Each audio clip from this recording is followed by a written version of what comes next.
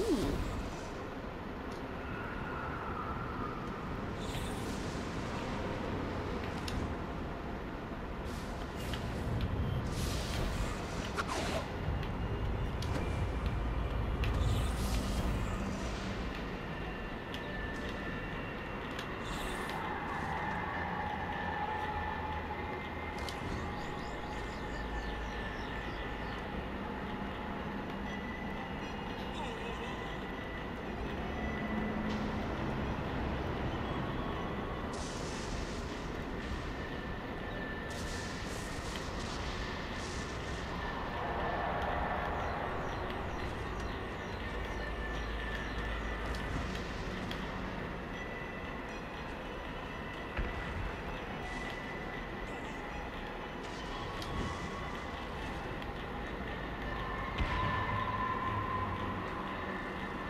Oh look, the Bedard algorithm.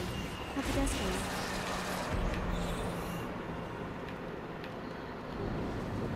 Shouldn't be too hard to get this out of here.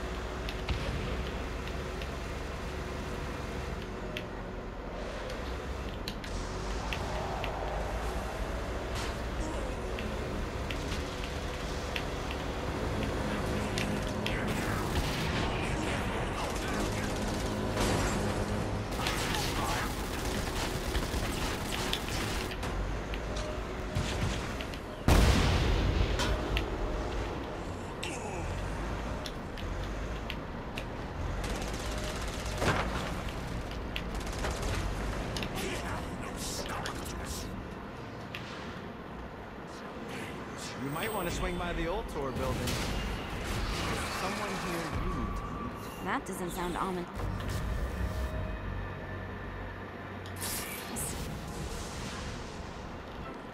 Emboldened by the power of song, Jezebel set out to find the one man that could save her from her impending nuptials. Fortunately for her, Johnny's trail of destruction wasn't too hard to follow.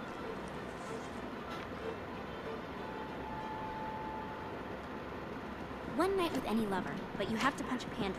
Do you do it? Ooh, good question. Um, Mr. Gat? Who are you?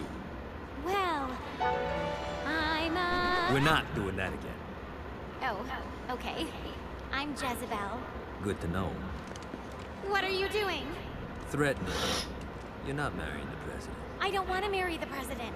Wow, that was easier than I thought. My dad's making me do it. What now? Now I'm holding you hostage. You don't need to do this. Yeah, that's what hostages always say. No, like, you really don't need to do this. I'm here to help you. Yeah, but It's I the already have the gun devil's daughter. drawn, so, uh, Are you kidding me? maybe. Not sure yet, I'm kinda winging it. Can you wing it without the gun? Eh, it's a comfort thing. Not for me. What do you want? For you to put the gun down.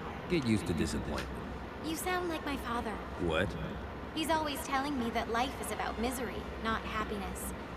That dreams only exist to make people forget about their own mediocrity. Man, that's depressing. Being the devil's daughter sucks.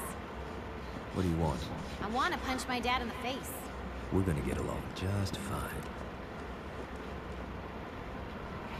Of course, Jezebel was speaking metaphorically, but Johnny didn't notice. Jezebel was eager to help Johnny in any way she could, and vowed to find a way to sneak him into the palace.